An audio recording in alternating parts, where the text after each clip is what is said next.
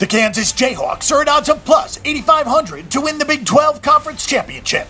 Last season saw the Jayhawks go 3 and 9 straight up, 5 and 7 against the spread, and 4 and 8 on the over under.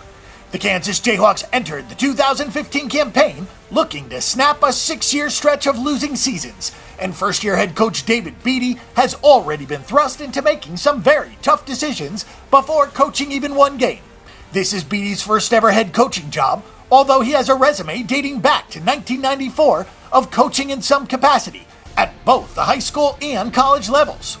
There is bad news during the spring game in preparation for the new campaign starting quarterback Michael Cummings, who is entering his senior season, went down with a knee injury and had to have surgery to repair the damage. That will likely keep him out of the fall practices and possibly deep into the 2015 season.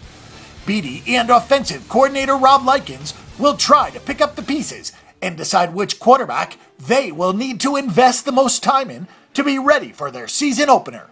With senior quarterback Cummings lost to the knee injury in the spring game, the first big difficult decision on Coach Beaty's plate is who to put under center to call the signals.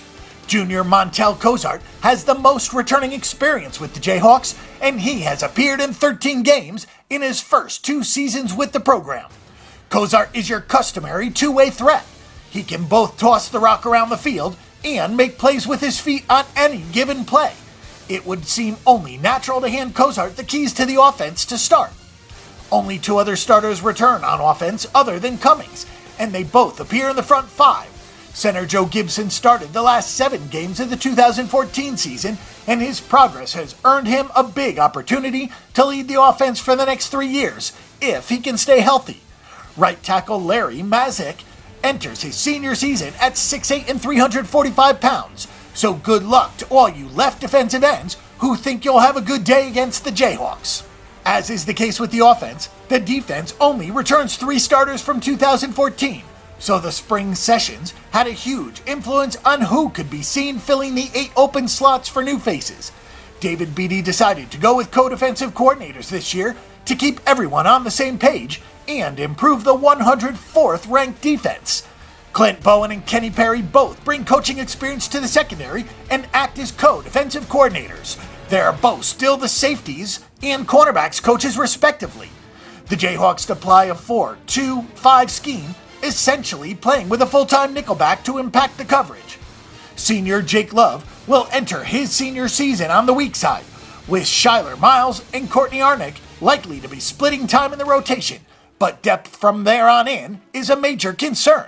The front four will be led by senior Ben Goodman, who returns on the left side of the line to have more of a vocal role, as well as lift his game to a Big 12 level. A very young and inexperienced squad will be the product that David Beaty has to be coaching this season, and you have to recognize that the Jayhawks have only won 12 games in the last five seasons, having no more than three wins in any one of those given campaigns.